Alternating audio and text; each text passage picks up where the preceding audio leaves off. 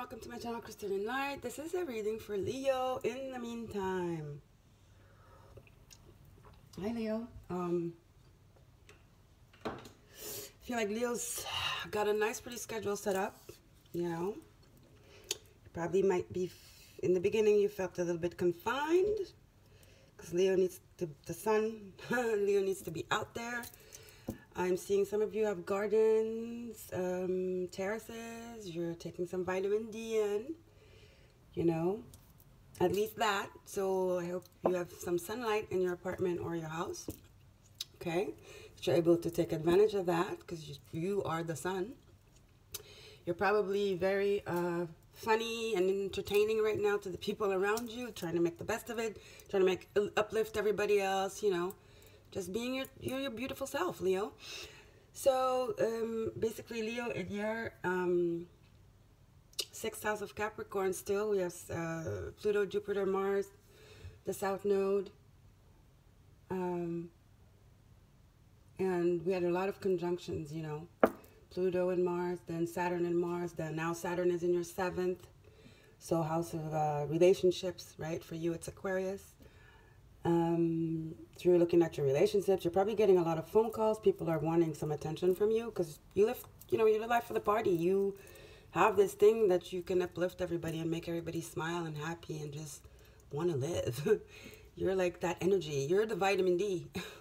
so you might be very solicited right now. Um, off definitely. I'm seeing video calls, WhatsApp calls, and lots of calls.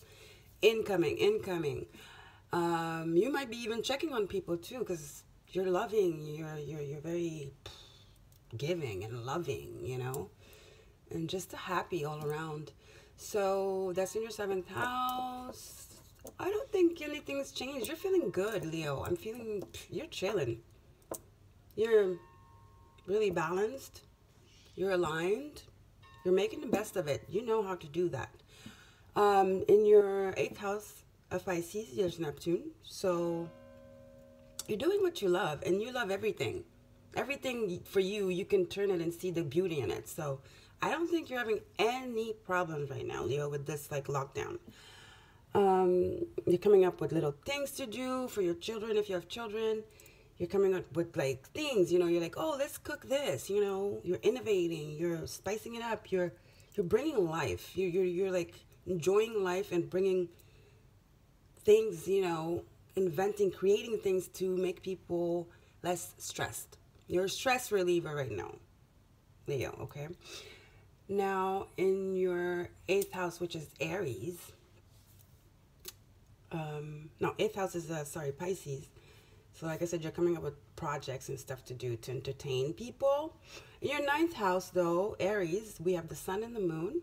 Okay, we have the we have the new moon in Aries uh, on the 24th. So, um, yeah, that might be, it might have like had a little bit of like, just a little tiny bit of like feeling like, oh, I want to go out, you know, but I think you quickly turned that around and just did something else. Figured something else to do to get out of that energy. Kudos to you. In your 10th house of Taurus, we have Venus and Chiron. So again, like I said, you're, you're calling people, you're trying to make them feel better, you're uplifting them. You're trying to just be the nurse right now. You're very Cancerian-like right now, Leo. And I like that. So, um, let's see what we have. Gardening, you're gardening, you're, you're just cooking. You're very, very Cancerian. You're very Cancerian right now. And Cancer is your 12th house. So it's your subconscious, right? So you're tapping into that Cancerian vibe right now, Leo. Now, let's see what we have for you from the tarot. Ciro Marchetti, Tarot Grand Luxe for Leo Spirit. In the meantime, I have Leo friend, a really good friend. And he's practically, I'm a Cancer son. He's the only person I can talk to right now. Because everybody seems to want to talk about the virus. And I don't want to. Because it's like, it's not a, you know, you can't have a discussion. It's like, eh, there's only two two sides here. people that are spinning in the vortex and people that are getting out of the vortex and trying to make, you know, to do something, to to to maximize the situation, use it to the, you know, to do something, you know, positive and forthcoming and you know, looking to the future. And then there are those that are in the vortex that are just spinning. You know, those people that watch the news, that are doing research. Like, I mean, they're trying to win a Nobel Prize. Uh, this is not, you cannot figure this shit out. So it's like, that's a waste of time. And I don't need to talk to those people. I'm sorry. Call me insensitive. I'm not. I'm a Cancer Sun. But you know what? I got to protect myself too. Healthy boundaries. But this friend of mine, this Leo, is the only guy, he's a man. He's the only one I can talk to, practically. And my mother. Because everybody else just wants to talk about the corona. And we don't have the same point of view. So, you know what? I don't want to get into arguments. I don't want to be harsh. So I just rather not talk on the phone. I'll send messages. So it's short and it's cute. Basically. Okay. That was my little rant. Do what works for you, basically. Gotta protect your energy too. People can pull you down. That's why I don't watch the news. All right, Spirit, what do we have for Leo, please? In the meantime, please, Spirit. Yeah. Queen of Swords. Libra, Gemini, Aquarius. Your ideas, you have clear, clear-minded, clear, concise-minded right now. You're not, you know, Queen of Swords can be abrupt and very, like, clear, sharp. But I think you're not. You're just, you know, you have the right words. You have the right words, Leo. You can, judgment. You are very um, you're the contrary of the Queen of Swords right now.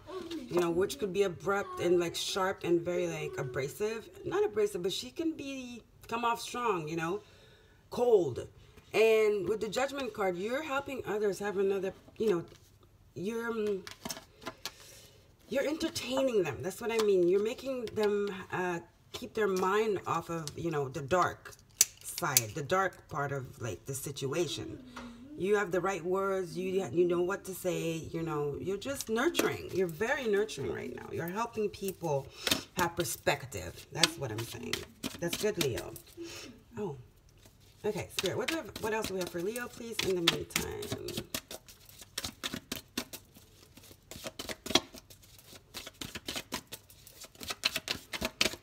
leo three more okay well there they go Death. Yep, you're judgment and death. Two major causes. You're changing their perspective. You're helping them cope. It's like you're almost like pep talking them. Not pep talking. You're being a psychiatrist right now. You are transmuting their negative energy. And you've made it your mission. And that's how you keep busy because you are love and you keep giving. You like to give love. You know, we are all love, but Leo is definitely, their motto is love and passion. So you're very passionate you're very giving right now, very nurturing, and you're you're there. You're there for people around you. You're helping them heal. You're helping them have perspective. See? Four of Swords, Libra, Gemini, Aquarius. Okay, Judgment and Death are Scorpio and Plutonian cards. So it's a rebirth. You're changing their point of view, right? And then here you have the Four Swords. Again, you're just like, you're making them be able to, you're really calming them you're calming them, okay? Ten of Cups, Cancer, Pisces, Scorpio. Yep. Your family, too. Your family is very serene. You're bringing a sense of serenity to people around you. Um, Seven of Swords, which is putting down, you know, everything we don't need, the things we just kind of hold on to mentally.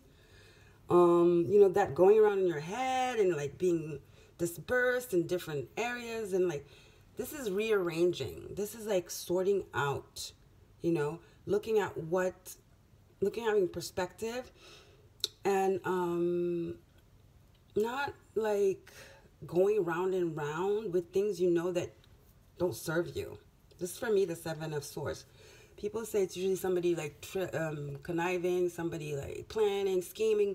Here, I feel like you're just like giving people um, serenity and and and perspective and just optimism. Your optimism is like very uplifting right now.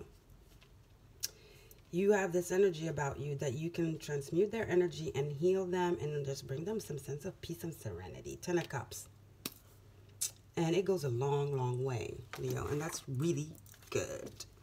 You're playing psychiatrist right now. Help center. Help center. You're a help center right now. You've set up a help center. you know, help calling center, Leo. That's, that's so cute. All right. Numinous Astro Deck, Ruby Warrington, and Beth Matassa. Told you. Look, you're being Cancerian. I told you. You're in your Cancer mood right now. You're tapping into that 12th house. Mm. You're telling them, don't worry. Don't worry. I got you. It's beautiful. This is very noble of you, Leo. But then again, that's who you are. These times, you are much needed, Leo. Okay? All right, Spirit. What do I have for Leo? In the meantime, very soothing energy here. With this Four of uh, Swords and the Ten of Cups. Very soothing. All right, Spirit. What do I have for Leo, please? In the meantime, Leo, in the meantime,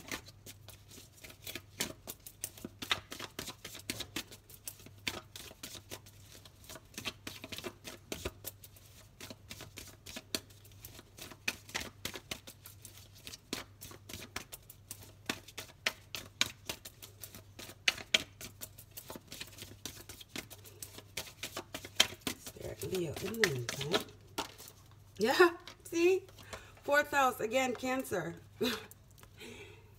but for you, it's your 12th house. Yes, Leo, I told you.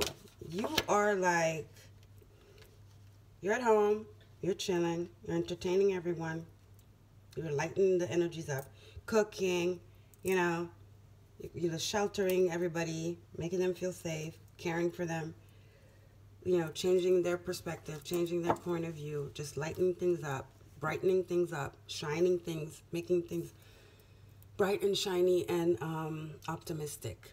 That's what you're doing, Leo. And that's beautiful. Let's get a uh, Queen of the Moon Oracle since we had that full moon in Aries. Okay. Aries, which is, like I told you, your ninth house right? Which is that sunny perspective, because ninth house deals with higher consciousness learning. So you're illuminating. You're very, you're being the sun right now. You're you're being the sun, and you're ruled by the sun. So that's very fitting and perfect, Leo. You're being the sun.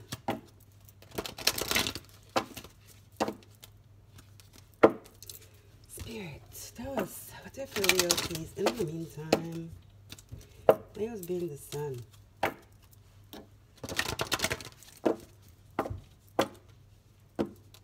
You're the listener right now. Definitely a healer. Definitely being a healer right now. Spirit, from uh, for Leo from the Queen of the Moon Oracle, Stacey Demarco. For Leo.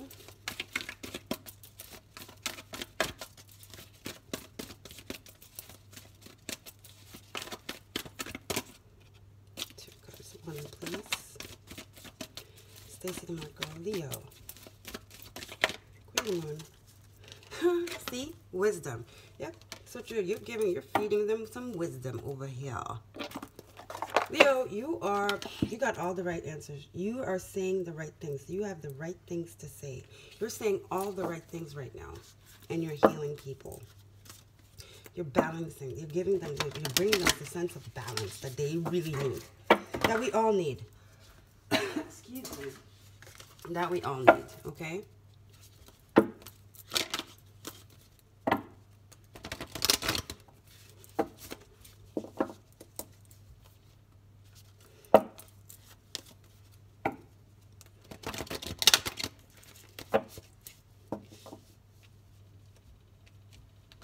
Beautiful. See that card? You're being the sun, Leo.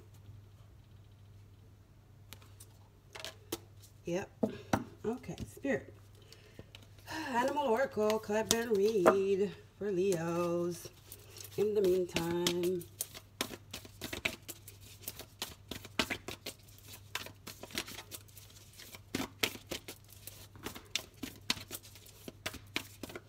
Leos in the meantime. Okay. Oops. Picking up all the cards. Lots of ashes everywhere. All right. Time for a deep dive. You're healing. This is healing energy. Swan, it's like, you know, being pretty, being on the surface and all that. And you and going in and looking at the ugly. That's the deep dive, right? Just going below the surface. And that's what you're doing. This is perspective. It's air energy, I feel, you know? It's like perspective. It's like looking at things, facing them, and making the best out of them. Healing. This is healing energy. And that's what you're doing, Leo. It's like healing to, to, to, to reach that balance again. See? Two, two, and six. It's like you're showing them a death card judgment. That's healing too. Um, you know, that's rebirth. That's like transmuting like old patterns and stuff like that. And that's what you're doing. Uh, you're giving them another perspective. You're, you're spinning it. You're spinning, giving them another spin on this thing. Plus, I'm very uh, uh, drawn to the pink here. Okay. Right here, it's like very soothing, calming, nurturing. Cancer is all about nurturing and soothing and calming and um, warmth, you know, and love. I love this card this deep dive card. All the cards are beautiful from this deck. Let's get an Earth Magic, guys. Earth Magic. Sun says he's hungry. Pizza's in the oven. Let's get some sage. I'm sorry, guys. I'm just chilling. I'm sorry if I'm, like, very, like, taking my time. But, hey, where do we? We ain't got nowhere to go. We ain't. But Leos, you guys don't get impatient. Sometimes. Sometimes. Sometimes you want to go, go, go, but I feel like you're very like serene right now. So you're serene. You've, you've, you, first maybe it was like, oh my God, what am I going to do? I need to get out. And I think you, it, it lasted a day or two. And now you found the, the balance and it's cool. And you're managing pretty darn well. Pretty darn well. Okay? Right, Spirit, what do you have for Leo in the meantime, please? My lighter is almost out. That's why I keep lighting like a crazy woman. All right, Spirit, what's it for Leo, please? Oops, Earth Magic, Steven D. Farmer, Leo, in the meantime. Steven D. Farmer. In the meantime, Leo. Okay. No, no. Leo in the meantime.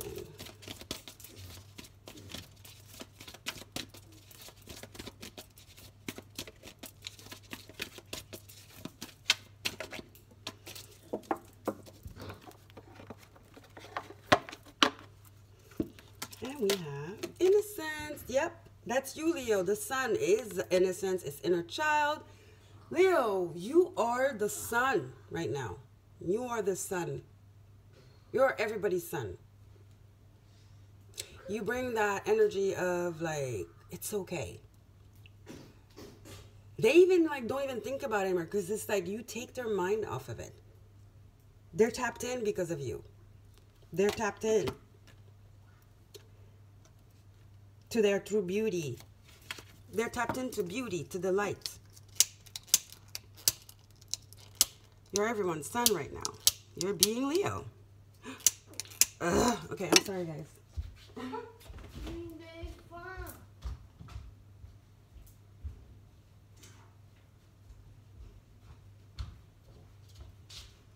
You are everybody's diamond, Leo.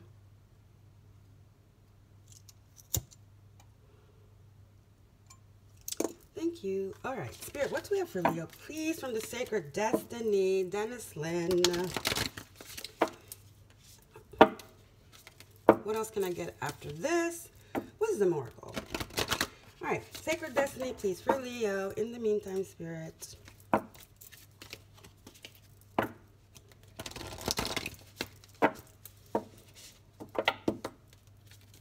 One last time.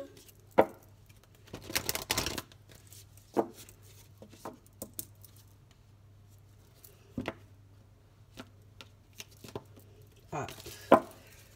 Okay, Leo, please? In the meantime.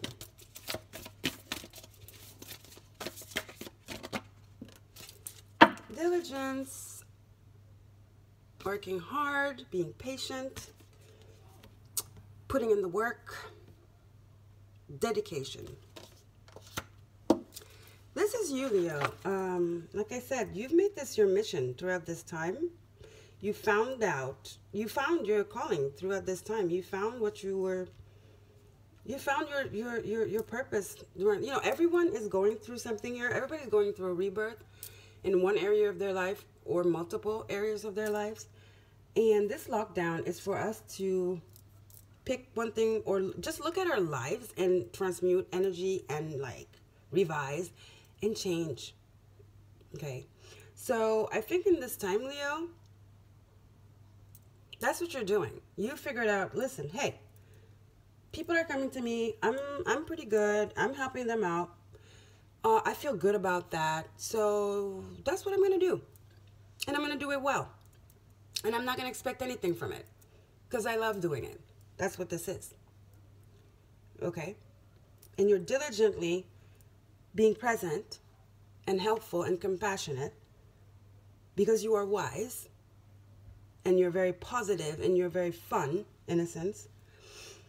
And you're you're you're, you're healing people. That's what you're doing leo. Okay?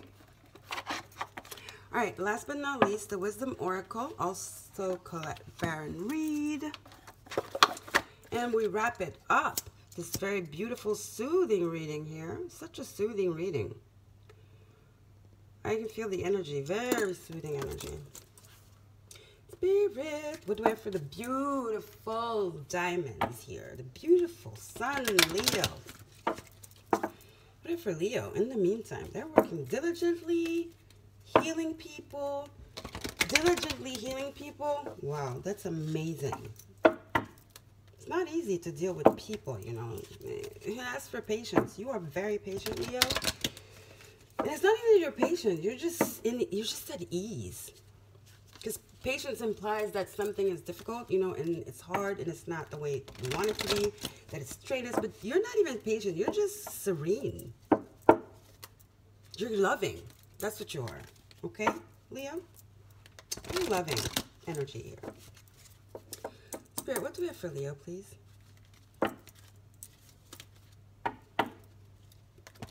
In the meantime,